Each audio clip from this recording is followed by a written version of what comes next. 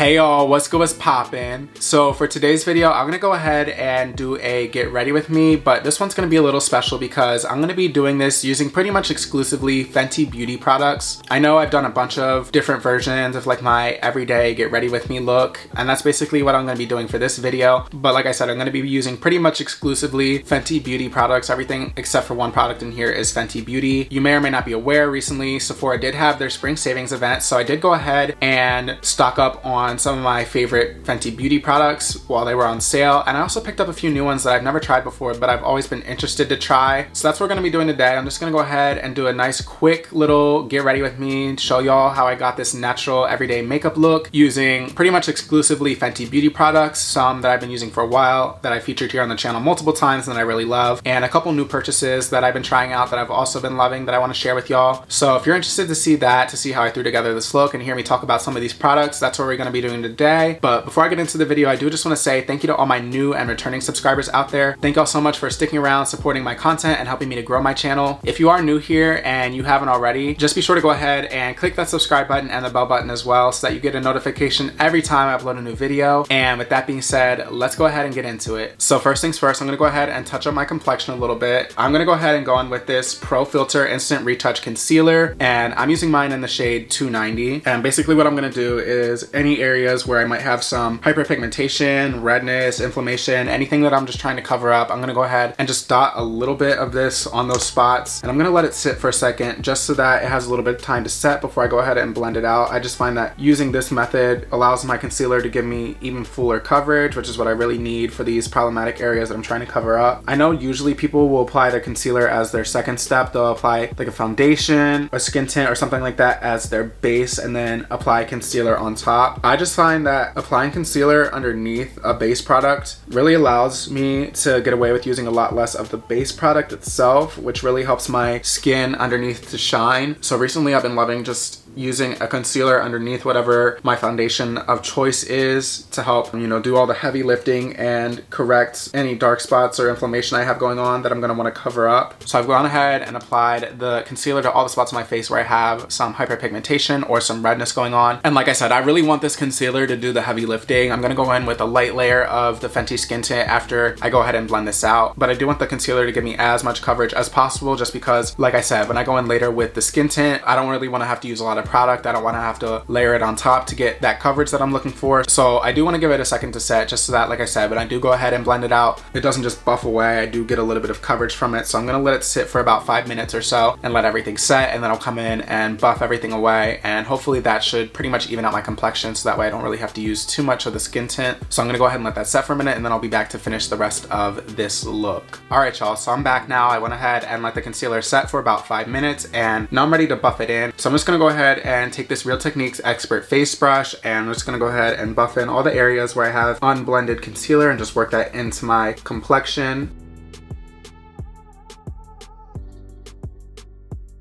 Alright, so here's my skin with the concealer all buffed in. Honestly, just the concealer by itself already gives me really good coverage. This is a medium to full coverage concealer, and especially, like I said, because I let it set for a second, it is a little bit more full coverage right now. It's done a good job of covering up a lot of this discoloration I have going on and really evening out my skin tone. And honestly, for a no makeup makeup look, I would be pretty satisfied with this. Like, this really just looks like my skin minus the redness and the inflammation, but it could be a little bit more evened out. And even though I've covered up some of the inflammation and the redness, I do still see a little bit of my skin's natural texture. Now, obviously texture is natural. No matter how much makeup you wear, you are going to have some texture and you can't cover everything up. That being said though, there are products that you can use that do help improve the appearance of that. And Fenty specifically has released a bunch of products that are really good at giving you that nice soft blurred skin look. So with that being said, I am gonna go ahead and go over my entire complexion with this Eaze Drop Blurring Skin Tint. I have mine here in the shade 10. So this is the newest complexion release from from Fenty Beauty and it's a lot different compared to the other foundation products she's released in the past. She came out with her original matte foundation, then there was a hydrating foundation, and then her powder foundation. And all those are supposed to give a medium to full coverage buildable finish. This, on the other hand, is a light to medium buildable finish. This has been my go-to recently. This is what I reach for when I just want to go ahead and even out my skin tone a little bit and I'm not necessarily looking for perfection as far as the amount of coverage it gives me. And I really love too the way that this sits on the skin. It really helps to smooth over the appearance of any pores, fine lines, or texture I have going on. So I'm just gonna go ahead and apply some of that all over my face. Not too much, like I said, I'm really just trying to even everything out. I was mainly using the concealer to go ahead and neutralize the redness and cover up my hyperpigmentation, so I'm not really expecting this product to do all that. But what I am hoping to achieve by just applying a thin layer of this all over is hoping to further even everything out and also to give me that nice blurred skin effects. But let me quit rambling. I'm gonna go ahead and blend it out now. So I'm gonna switch up a little bit. I'm gonna take a beauty sponge to blend everything out. I know normally with foundation products that I usually use a brush, but actually I've been experimenting with this a little bit, trying different ways of applying it, seeing how it wears best. I do think that there is a little bit of a learning curve to this. And I found that while I do like how this looks with a brush, it does apply seamlessly that way. First of all, it is a lot less effort to blend it in with a beauty sponge compared to a brush. And also, I don't know what it is about the sponge, but I just find that it really does give me that nice natural skin-like finish and it helps to give me the perfect amount of coverage. This is a Juno & Co sponge. I know that these are supposed to be like really good for applying foundation. They're supposed to really blend everything in seamlessly and give you a nice full coverage look. I did try applying this before also with a Real Technique sponge and it looks really good with that as well. The only reason why I'm not even using that sponge right now instead of this one is because one time when I was going to clean it, it actually exploded on me. So I needed a new beauty sponge and I really just love how this looks blended in with a sponge. Let me go ahead and come a little bit closer to the camera so y'all can see but this is what the complexion looks like with everything blended in with the sponge. Look at that. Everything is all covered up and blurred out. I don't have any obvious skin texture or anything like that. If I was honestly feeling low effort and I wasn't doing a whole look, I would probably stop here on a natural makeup day. But I do have a couple more products here that I wanna go ahead and apply to really complete the look. The foundation has had a decent amount of time to set. I just wanna set it a little bit further with some powder. So I'm gonna take this Fenty Pro Filt'r Soft Matte Powder Foundation and use this as my setting powder. I know that this is a powder foundation and this is actually a more recent purchase of mine from Fenty and I really love it. I love it a lot as a foundation, but I also find that it works really well as a setting powder too. So what I like to do when I use this as a setting powder, I take a nice big fluffy brush like this. This is a Real Techniques powder brush. It's really important that you get one that's nice and fluffy like this and not one that's really thick and dense like the Expert Face Brush because with this, the thickness and the denseness of the bristles are gonna pick up a lot of product. So I take something nice and fluffy like this that's able to get enough powder to set the face without grabbing too much to actually give you coverage as you buff it in. So I just take a decent amount on the brush head and I just gently tap it in all over my complexion to just help tone down the shine, set the skin tint and the concealer underneath. In addition, this also helps to amplify that skin blurring and skin smoothing effect that the skin tint's giving me.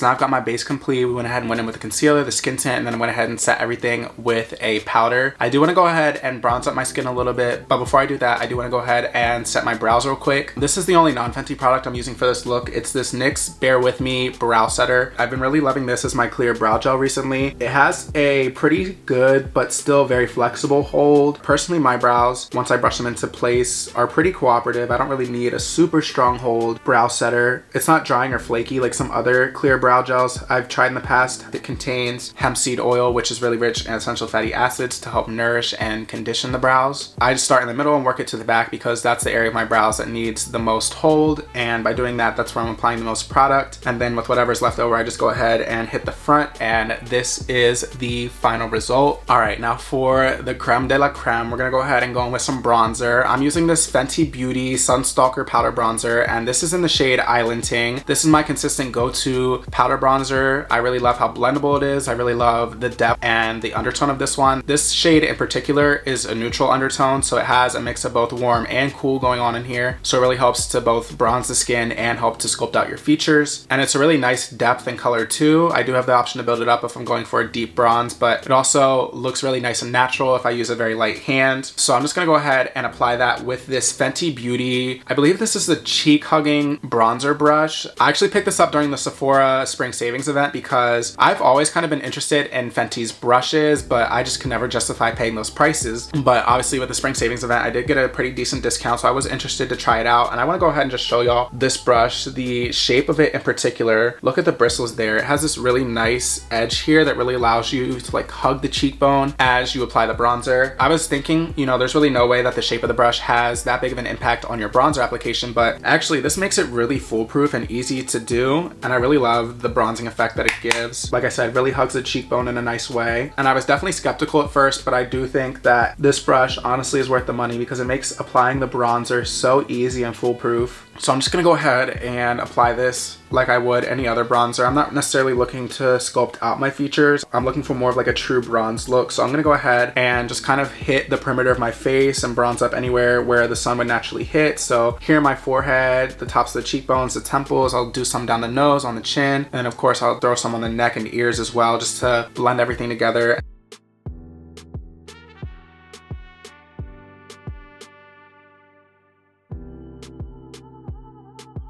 So here's my skin all bronzed up and everything. I use a little bit of a lighter hand than I normally would just because, like I said, I'm going for more of like a natural kind of no makeup look today. So I really wanted to just use a light hand and bronze everything up to give me a nice natural sun-kissed look, but I didn't want to overdo it. And like I said, the Fenty bronzer brush really has a good shape to just kind of hug your skin and give you a nice, seamless, perfect bronzer application. And then I'm just gonna go ahead and finish everything off with a little quick lip. So I'm just gonna go ahead and top that off with this Pro Kiss'r Luscious Lip Balm. And this is in the shade Latte Lips. So this is the medium shade, I believe, of their tinted lip balms. This has a really nice color. It's like a pinky brown nude. It's really nice, natural, my lip but better color on me. And it's also really comfortable and actually hydrating on the lips. A lot of tinted lip balms I've tried, you know, they're not necessarily the most hydrating. Some of them can actually dry my lips out, but this is really comfortable and actually does hydrate. There's shea butter in here, I believe, which is a really good skin nourishing and conditioning ingredient. Went ahead and just applied a little light layer of that and that's what we're looking like. And that's honestly it for my completed makeup look. And that's where I'm gonna end off the video. So I hope y'all enjoyed this video. If you did, be sure to go ahead and give it a thumbs up. Let me know if you've tried any of the products I featured in this video. Let me know down in the comments as well what you liked about this video, what you disliked, and let me know if you have any video requests for any specific video topics in the future so I can be sure to keep those in mind when I'm sitting down and thinking of things to film. Like I said, if you haven't already, please be sure to go ahead and click that subscribe button and the bell button as well so I can get a notification every time I upload a new video. And with that being said, I should be back shortly with new content. Bye.